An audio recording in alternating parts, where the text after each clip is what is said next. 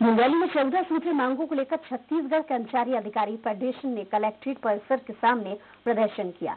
मुख्यमंत्री भूपेश बघेल के नाम मुंगेली कलेक्टर को ज्ञापन सौंपा। फेडरेशन के प्रांतीय निकाय के आह्वान पर पूरे प्रदेश सहित मुंगेली ज़िले में आंदोलन हो रहा है। फेडरेशन से संबंधित सभी मान्यता प्राप्त संगठनों ने एकजुट होकर अपनी मांगों के समर्थन में मशाल रैली निकाली। मशाल का प्रतीक और सूखी दिया बाकी हाथ में लेकर सभी कलेक्टर कार्यालय पहुँच गए और 11 दिसंबर को जिला स्तरीय और 19 दिसंबर को राज्य स्तरीय आंदोलन किया जाएगा।